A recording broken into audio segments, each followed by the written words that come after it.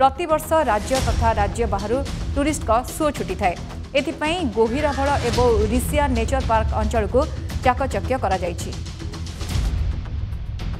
ଏ ଯେଉଁ ବାଲେଶ୍ୱର ଜିଲ୍ଲାର ନୀଳଗିରିର କୁଲଢିଆ ଅଭୟାରଣ୍ୟ ଆଜି ଖୋଲିଛି ଦୀର୍ଘ ଛଅ ମାସ ପରେ ତେବେ ପ୍ରଥମ ଦିନରେ কিভাবে ব্যবস্থা রয়েছে তাহা তো পরে জাঁয়া তবে প্রথম দিনের যে পর্যটক অনেক তাঁর টিকি প্রতিক্রিয়া নেওয়া কিভাবে ভাবে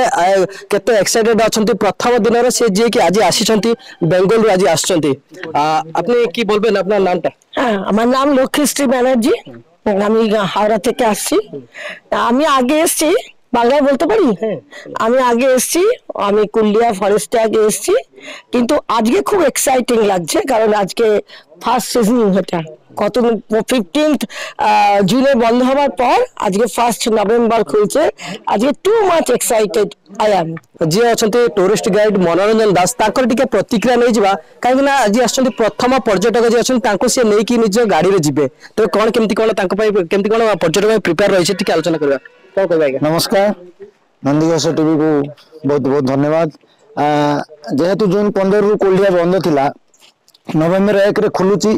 ତେଣୁ ଏ ବର୍ଷ ଆଟ୍ରାକ୍ସନ୍ ପ୍ରତ୍ୟେକ ବର୍ଷ ତ ଆମେ କିଛି କିଛି ଜଙ୍ଗଲ ଭିତରୁ ନୂଆ ପାଉଛୁ ଯେହେତୁ ନଭେମ୍ବର ଏକରୁ ଜୁନ୍ ପନ୍ଦର ଭିତରେ ଆମେ ସବୁବେଳେ ପ୍ରାୟତଃ ସପ୍ତାହରେ ପାଞ୍ଚ ଦିନ ଛଅ ଦିନ ତା ଭିତରକୁ ବୁଲିବା ପାଇଁ ଯାଉଛୁ ମାନେ ଟୁରିଷ୍ଟମାନଙ୍କୁ ନେଇକି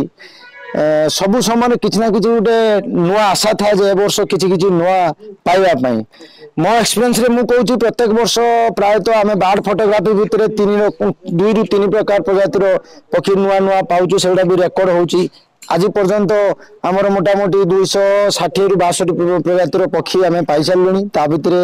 ওয়াইল্ড লাইফ ভিতরে হরিণ বারা কোটারি সম্বর হাতি গয়ল তারপরে ঠেকুয়া বহুত প্রকার জন্তু অনেক বিভিন্ন রঙ বেরঙর পক্ষী মধ্যে অনেক প্রথম দিনের পর্যটক যে আসছেন কেমতি কোন ব্যবস্থা সে রয়েছে ব্যাপক প্রস্তুতি আমি নেইছু দর্শক মানুষ খুশি করা আউ ବୋଟିଂର ସିଷ୍ଟମ୍ ଅବଶ୍ୟ କରିଛୁ নেচারকে उसको सफा सुतरा कर सुंदर ভাবে সজাই রাখিছো খালি দর্শক মানে আসলে হেলা